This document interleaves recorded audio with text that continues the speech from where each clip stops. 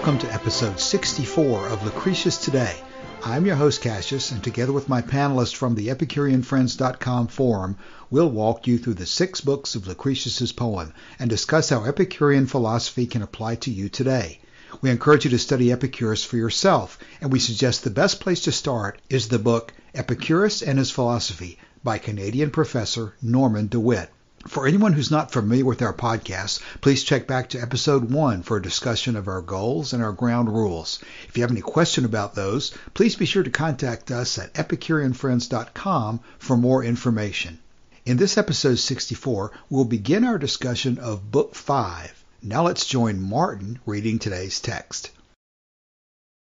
Who can, with all his soul inspired, compose fit numbers versus the majesty of so great things of these discoveries, or who, in words alone, can sing his praise, and equally deserts, who from the labor of his mind has left such benefits and bestowed rewards so glorious on mankind. No mortal man alive, as I conceive, for could I raise my verse to reach the dignity of things he knew. He was a god, my noble Memmius, a god he was, who first found out that rule of life which is now called true wisdom and who this human life, so tossed with storms and so overwhelmed in darkness, has been rendered by his art so calm and placed in so clear a light. Compare the benefits long since found out by those who now are gods. Ceres, they say, discovered first the use of corn, and Bacchus gave to me the knowledge of the wine and its sweet juice. Yet man might still have lived without both these, as many nations as we are told do now. But no true life could be without the mind easy and free, and therefore with better right is he to us a God, whose gentle rules received throughout the world bestowed on men tranquility and peace. If you should think the great exploits of Hercules exceeded this, you are carried far from truth. For how could the wide, gaping jaws of the Nemean lion or the terrible Arcadian boar afraid us now? How could the bull of Crete or Hydra the plague of Lerna, encompassed his, his poisonous snakes, or uh, Geryon with his triple face and the collected strength of his three bodies. Or what can we now suffer from Diomedes' horses, from their nostrils breathing fire, dreadful to trace, the Bistonian plains, and all about Mount Ismarus? Of what from the Arcadian birds of Stymphalus, feared for their crooked talons, or that huge dragon, fierce and terrible in look, that, twining round the tree, guarded the gold fruit of the Hesperides. How could he hurt us here, removed far from us near the Atlantic shore and the rough seas where neither Roman nor barbarian dared to visit? And other monsters, which that hero slew, had they not been subdued, how could they hurt us now? Now uh, were they alive?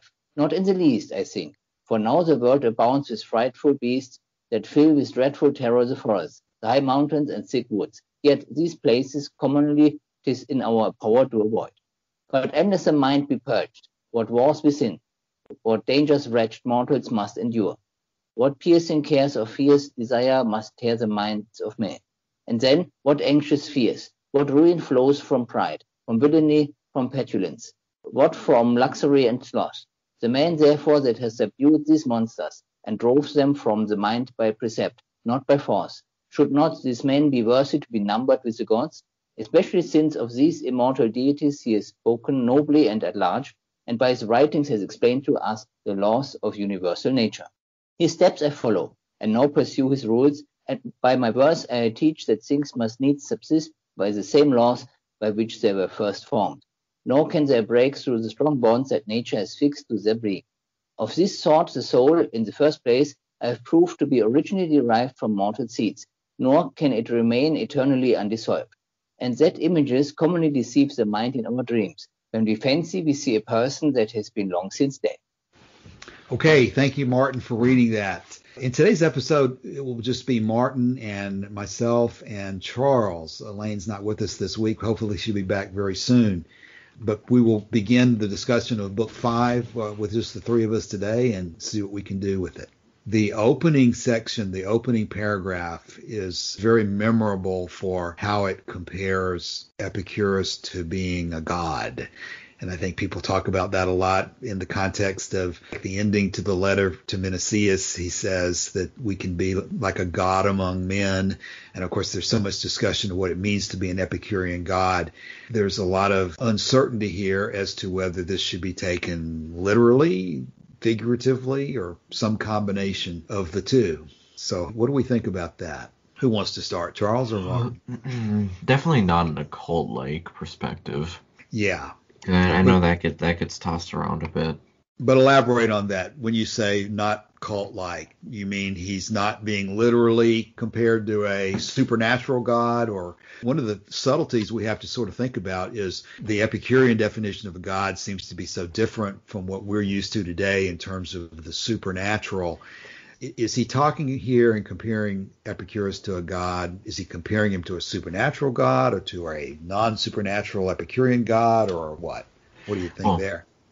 I, I think the text is, you know, a non supernatural Epicurean god, but uh, just the issue of like in a, in a cult like manner, I would say it's um, the trend of hero worship in the philosophy. I think that some people might be confused and would take it that the text here, or even us as a community, or just Epicureans in general, would be following Epicurus and comparing him to, say, some sort of ascended individual akin to a supernatural or omnipotent god, rather than just praising his achievements as a philosopher.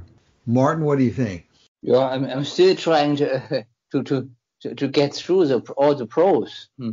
Very mythological. Yeah.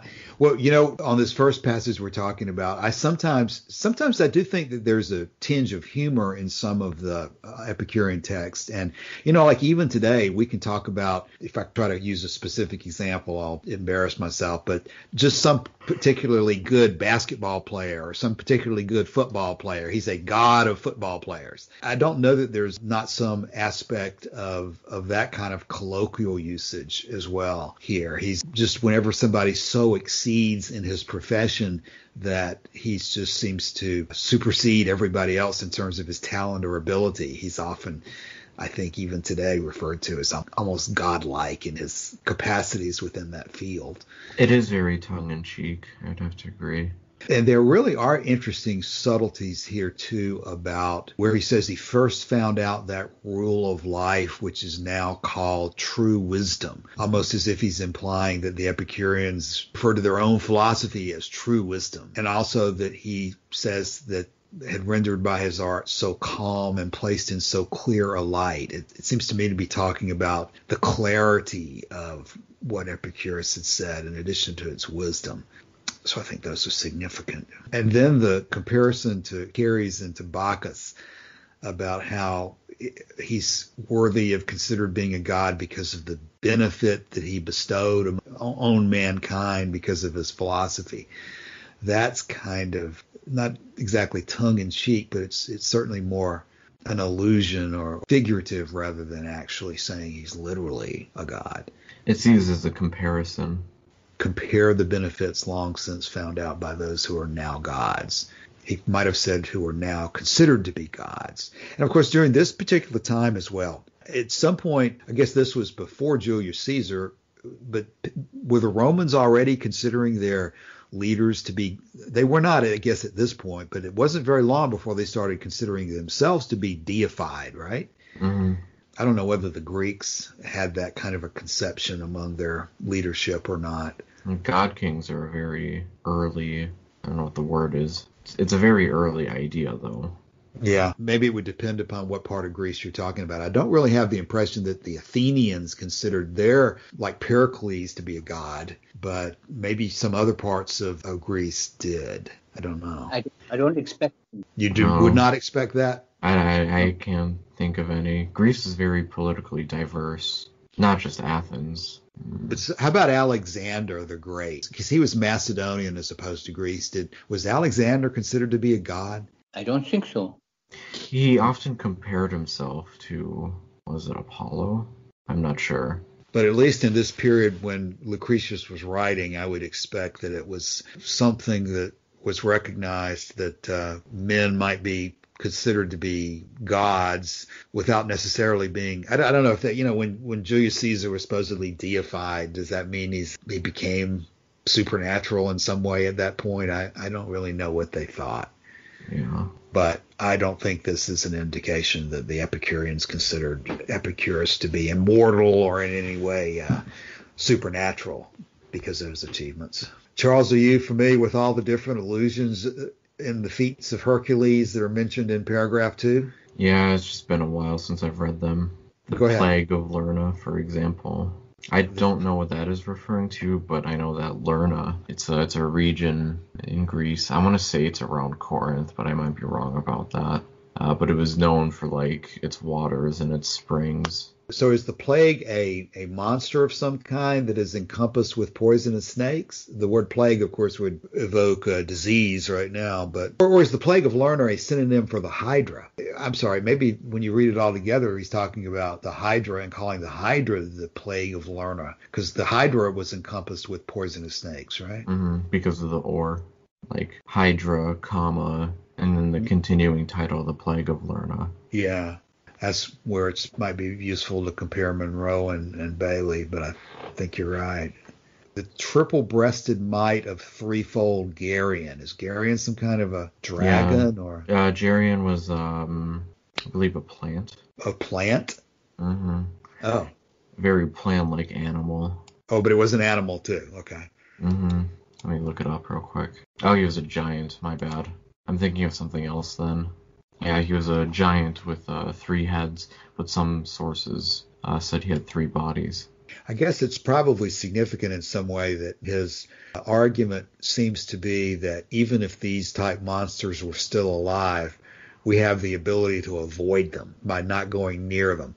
That seems to be his conclusion as to how to deal with them without needing a Hercules to kill them. So I guess maybe maybe the analogy might be that he's talking about Epicurus teaching us how to avoid the true hazards of life. I thought about it more as like fearing myths and Yeah, that you don't have to fear the superstition. Right, right. Is he calling these superstitions here, or is he just saying it wouldn't matter if they were alive? I guess it's the same thing. It's very easy to read this in a in a literal sense. hmm Um, but the the text, uh, at least here in the Browne translation, that says, "Where neither Roman nor Barian dared to visit," I, I see that as just you know the, the philosophy and the, the line of thinking and the, the mindset. You know that it's different, that it's you know it's something else entirely. That would speak to Epicurus's greatness. hmm For even now the world abounds with frightful beasts, and yet these places commonly 'tis in our power to avoid. Not only places and monsters, but literally philosophies or religions that are threatening and, and yet wrong. hmm And keep in mind, he is addressing this section to Memmius, Yeah. so he'd be well he'd be you know, well acquainted and familiar with these myths. Before we go to the next passage, Martin, any comment on those Hercules references? Yeah, it, it's more on on on the Ceres at corn. So I think we discussed this briefly some time ago already because it, it puzzles me that all three translate this word as corn.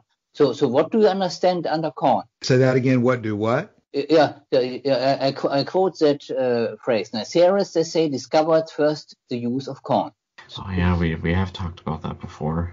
Yeah, I always think about cereal when I see that reference. uh, Yeah, I, I think it was cereal. like, like millet or something.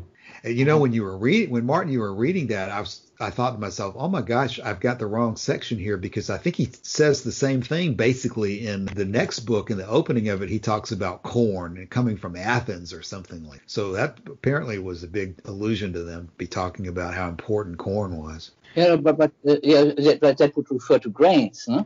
So so Yeah. something like Yeah, barley, like I that. think we talked about that in I think book one. Yeah, yes. And the, funny thing is, I mean, because this may, may come back, so I want to settle it once and for all. Because I remember very clearly at my first international conference when I was uh, after the meetings in a private discussion with some of the established uh, researchers. Then I, uh, I I used the the word corn mountains to refer to what actually were grain mountains, and an American researcher of German descent corrected me that should be called grain mountains. huh? So, so that's why I would say in this context it would be more clear to to or the, uh, to, to to say grains and not not corn, because corn is uh, uh, typically actually means more specifically maize, doesn't it? For us in the United States, it means maize. Yes. hmm So you're right. You're saying you're saying that they're they're mixing wheat versus corn in these references. A European thing, yeah. This is a British translation. Mm-hmm. Yeah, all three of them are. And yeah. does, does Munro? Yeah, Carrie's Munro says corn, and Bailey also says corn. But you're saying that what we really are talking about is wheat. That's a good point. I, Barley would be under it too, and be, because uh, it, with respect to the garden, they refer more to barley than wheat. Okay, so I'm going to betray my memory failing me. Where does corn come from? Is it natural to a particular continent, or is America's. that what was brought? It, it's, a new, it's a new world crop. Yes, maize okay. is from, from, from America. It, it, didn't exist in ancient times in Europe. Okay, okay. So that's why you're saying it has to be wheat or barley. It cannot be maize. Exactly, exactly. I got you. They grow it in Europe now. yes, of course. It's it's used a lot for for to to feed uh, animals, but also for human consumption. Even in Thailand, they grow it because it can stand the heat and dryness. No? Because we have a pronounced dry season, and uh, the maize quite likes it. All right. Anything further on Hercules or those allusions to classical mythology before we move to the next passage? I mean, just to, to tell it clearly, you know? so, so of course it was a, a great feat that uh, these more or less uh, uh legendary deeds of Hercules and others uh, killed these, but th- that's just uh, of, of uh, yeah, then local importance for, for those few people who lived in these areas. For the vast majority of people, these monsters never posed any danger because they would just not be there. No?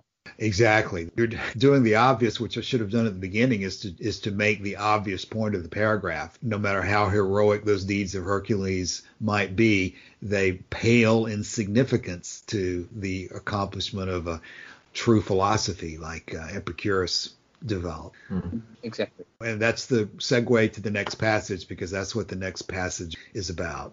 But unless the breast is cleared, what battles and dangers must then find their way into us despite? What pride, filthy lust, and wantonness, what disasters, luxury, and sloth. He therefore who shall have subdued all these and banished them from the mind by words, not arms, shall he not have a just title to be ranked among the gods? What comes to my mind there is you you do struggle, as Charles referred to earlier on, whether this is cult like or not. There, there's a hero worship involved to some extent. The status of Epicurus within Epicurean philosophy gets discussed a lot, and whether he's held in too high a regard. And there's something improper about whether he enforced his beliefs on his followers and whether people were just told to do what he said and not think for themselves and so forth. But I think this helps put it in proper perspective that when somebody does something for you that is so incredibly beneficial for you, you feel naturally and correctly a lot of gratitude for it. And I, I think that that's where he's generally going with this opening section in book five is that it is appropriate to hold Epicurus in high regard for his achievements in philosophy, since the philosophy is so important to us in helping us live successfully. And so when he compares them, this is not the one where he talks about him as a father figure, but he's really saying that Epicurus exceeds a father figure I know in a lot of cases in reality, fathers don't live up to the uh, standards that you'd like to think they would live up to. And so I guess this is a, carrying the illusion further from the prior book where he compared Epicurus to a father figure. He's saying that his contributions and what we owe him is greater than a father. Not sure where to go off that. yeah, that's right. He's, I guess I'm still looking at the words he's using. He's talking about the disasters they occasion and then continuing on to say, uh, and luxury and all sorts of sloth, as if luxury and sloth are also disasters. This the list of things includes their pride, lust, and wantonness, along with luxury and sloth, and all the more so that he was wont to deliver many precepts in beautiful and godlike phrase about the immortal gods themselves, and to open up by his teachings all the nature of things. I don't guess he's generally thought of as maybe the most godlike writer, but maybe it's okay to say that. Well, and then the final paragraph that we have for today is a transition paragraph from this opening. And when we go next week, it'll be more detail about where he's going to talk about. But in this final passage we have for today, walking in his footsteps, I follow out his reasonings about certain things There's probably something interesting to talk about there by what law all things are made and what necessity there is then for them to continue in that law and how impotent they are to annul the binding statutes of time one thing that brings to mind is that people tend to consider the swerve to be one of the most significant parts of Epicurean philosophy. But I always remind myself, and I think this is a statement of that, that while the swerve is important, there also is necessity and continuity brought about by the properties of the atoms. The swerve does exist, but so does continuity and the laws that arise from the nature of the atoms. What do you think about that? Martin, we've kind of discussed that kind of thing before the balance of necessity versus contingency that comes about from the swerve. Or agency. Or, a, yeah, agency. Yeah, I mean, it, it's really that you need the swerve only for agency and nothing else, essentially. Mm-hmm. Otherwise, you you only have the billiards model of Democritus. Well, or, or maybe to be more clear, it, it, should not be only agency in a wider concept to to uh, prevent determinism. So, so, so, to, so to avoid determinism. So, so that would be rather more appropriate to say the main function of the swerve. Yeah, sometimes I get confused on this particular point. Are there two functions? Is it is it to avoid determinism, and did it also play into the? Is that how universes or worlds are formed? Is when a swerve starts the atoms colliding within each other? Because isn't there a discussion in book two about how if the swerve did not exist, all the atoms would just fall down in a straight line, and that the swerve is what broke the tendency of all the atoms just to fall straight down. I, I, believe it says that in, in that opening of book two under the where the swerve is discussed. I, be, I believe so. That when he talks about like the blows of them. So when people talk about what functions does the swerve serve, I think there are two categories: the determinism aspect and also the formation of worlds. But the reason I brought it up as significant is that I think some people have a tendency to overstate the, the significance of the swerve. People will say, oh, the swerve is a forecast of the Heisenberg uncertainty principle. And as a result of that, anything can happen anytime or something like that. They take it way too far.